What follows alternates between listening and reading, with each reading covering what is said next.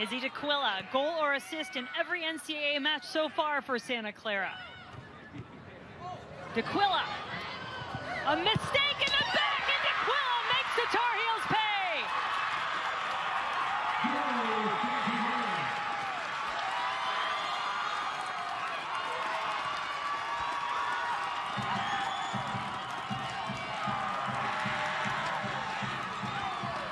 First goal that North Carolina has conceded since the ACC championship game in the fall.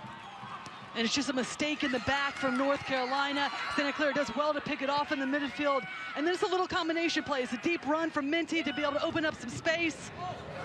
And there's a mistake in the back from Allen. Can't clear it. And D'Aquila just in the right place at the right time. And this finish is just composed. Could have gone far post. Gets her heads up, though.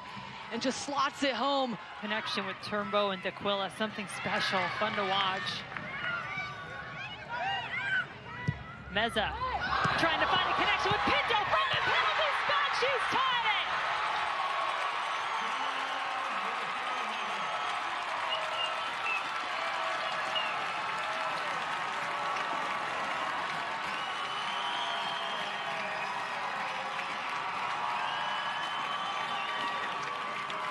and just how quickly North Carolina can get themselves back in this game.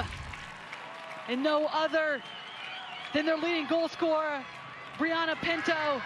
They do a good job of finding some space out wide, and then they're patient, and then it's just a, a no-look ball in. Pinto finds herself in behind, and then calm and composed as well. Look at that ball threaded through just those two center backs for Santa Clara. And Brianna puts it away with her 14th goal of the season. Team leading. And that's the pressure and the energy and just the opportunistic ability of North Carolina. Oh, D'Aquila with a chance to take the lead back. And Santa Clara does. Turnbow follows it up. And just like that, the Broncos are back in front.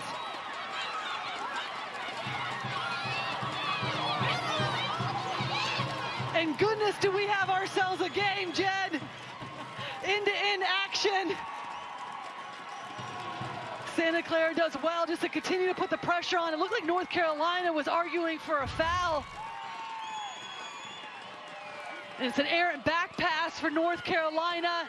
D'Aquila continues, but no, it's a slip for North Carolina. D'Aquila pounces on it again, and then Turnbow, with just the presence of mind to be able to pounce on it, get to it first, reacts to it. She's just slow, and then at the last minute right here, just gets to it first, slides everything she can, hits it up upper 90. This, and in their run to that 2001 NCAA championship, that was their one and only meeting with Florida State. They beat the Seminoles that year. That's who awaits the winner of this one. Skylar Smith was wide open. She gets it in the box. Dickey comes out to greet her. Smith scores another goal and some insurance for Santa Clara.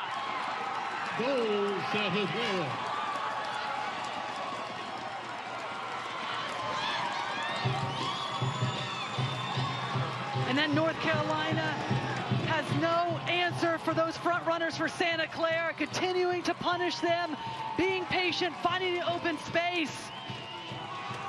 And really this, this whole sequence was started by Julie Doyle getting herself in a little half position to be able to set it up. And the likes of Turnbow and D'Aquila would begin this play. So good, Skylar Smith finishing it off. A little combination play right on top of the box. Get the ball back and then loads of space. The back line, the young back line for North Carolina just pulled out. Skylar has all the time in the world just to look up, figure out where she's going to play it. Dickey Wells does well to come out, close down the angle. But Smith gets her own rebound and just fires it home, puts her team up three to one.